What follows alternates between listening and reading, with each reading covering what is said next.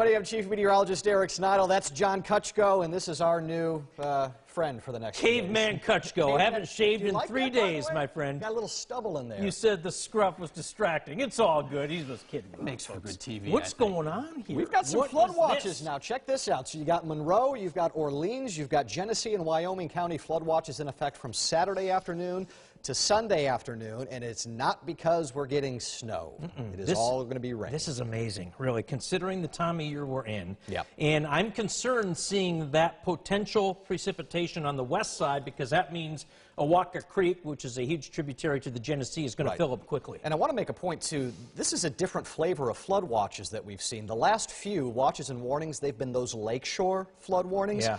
That's mainly for you know the winds pushing all of that Sure. lake water on shore. This is a different animal. This is going to be we all get one to two inches of rain. That will allow the rivers to start to swell too, which we obviously don't want to see. This is where all of the issues are going to be, and we're getting closer to a point now, John, mm. where you're within 48 hours of a lot of this high impact action.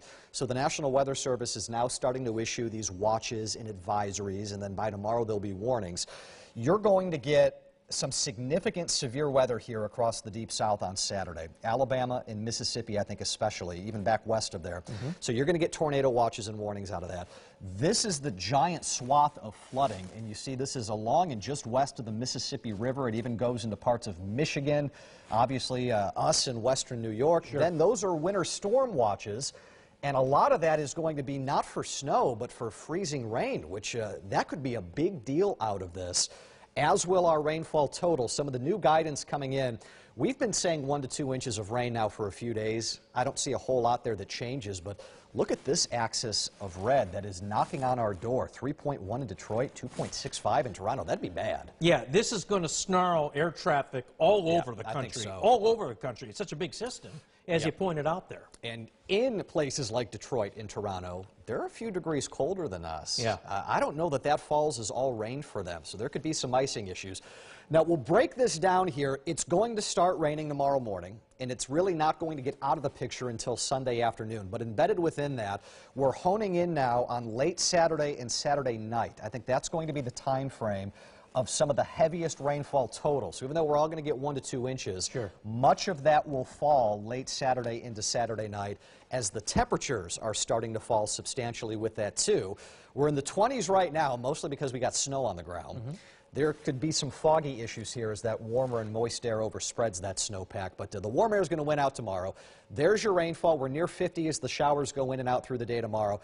This is one of the coolest things you're going to see this time of year. 60 degrees, John, at 11:30. Okay. Now one more click. We go to 3:30. Four hours. We have fallen to 37. It's remarkable, really is. And today, it was 18 degrees when I went up to Lake Ontario. with a wind chill near zero. Yeah, I mean, it was it was just incredible here what's happening, and that precipitous drop in a matter of hours on Saturday. Uh, that'll be something to really uh, to cherish and behold. It's going to be an attention getter for sure. Now, at 37 degrees, the critical number here is obviously 32. Yeah. It is freezing. This is what changes the game on us. I do think we're going to get awfully close to that. And the state of meteorology here on a Thursday afternoon, 48 hours ahead of time, is not good enough to be able to say with certainty that we're going to be 33 and not 32. We're not good Very enough to be able to do that. I'm, I'm intrigued because that wind's coming from almost due north, Right. correct? North, northeast, yeah. I mean, there is a chance, right? I'm asking There you is. that this this could push the cooler temperatures down just Yeah. a little more than what we're seeing here. There absolutely is still that chance. I think it's a lower potential than Mm-hmm. it was what we were looking at a couple of days ago. And that's kind of what this shows. Now, I love this because it's, it's got all these fancy colors on Yeah. it, but this is kind of a nerdy graphic. Let me walk you through this. We've got four different computer models, and they're all going to have a different opinion on where that freezing line is going to be. So let's show you where the opinion is. Each one of these different colors is where the model thinks the 32 degree line is. We know at 1030 we're close to 60, so obviously we got no freezing issues with that. Yeah.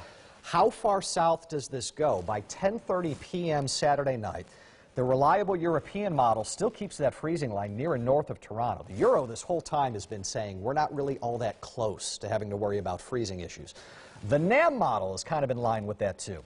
The American GFS and our in-house model, these are the two that waffle that line, what I would say too close for comfort. Uh, but then it waffles it back off north as we start to move forward. So I think we've exited this point here now, John, where uh, we're worried about an off chance of an ice storm. I think where we're at now is we may get some brief periods, I think especially some of the valleys where that colder air seeps in, where you may get some of this to change over to freezing rain. But an ice storm is not just it's 32 and it's raining. It needs to be more than just 32 in terms of cold. A lot of the worst ice storms happen with upper 20s and mid 20s because that rain is falling, but at 32, that's not efficient freezing. No, no. And we're going to be coming off of near 60 a few hours prior to that. So everything, the roads, the trees, the power lines are all going to be warm Sure. because of that. Yeah. A very borderline event like this would be one where even if I showed you a computer model that says we have a quarter inch of freezing rain that will fall, I don't think it would be the same impact as a normal situation where we're coming out of cold air and everything's going to be much more apt to freeze. So, from that standpoint, and I do want to forecast this from an impact based standpoint more than anything else, I'm having a hard time finding a route now where this ends up being any kind of a deal for anybody. Sure. Which is fine. Yeah, it's fine. Look, Yeah. we, we don't need to deal with an No, we don't. at this point. But it's also not going to be snow. It's Yeah. not going to be pretty. It's not going to be that photogenic. We may taper to some snow showers on Sunday. Mm-hmm. That's off the table. We don't have any snow with this. Uh, it's going to be, I think, the big issue. Do we get one inch or two inch snow, uh, rain amounts? And, Mm-hmm. Rain. and what does that do to the rivers? I see wind here. Uh, Yep. Nothing too crazy, right? Nothing too crazy. You're going to see wind on Sunday, too. Mm-hmm. I could see gusts of 40 to 45 miles an hour on Sunday. What direction, please? That would uh, eventually be turning to the northwest once that low starts to pass on by. right. So you can get your Sodus Point I may I may back off this weekend. It's NFL playoffs. I may be, I That's may take a break. I Get may a take little a breather break. with that. uh, but I'm a, I'm a bit more confident standing here now in my worries of Saturday night being something more sinister. All right, we'll be watching it closely. I know We'll you see. will. Yeah, we'll be back on here at uh, 5 o'clock on air. We'll see you. Take care.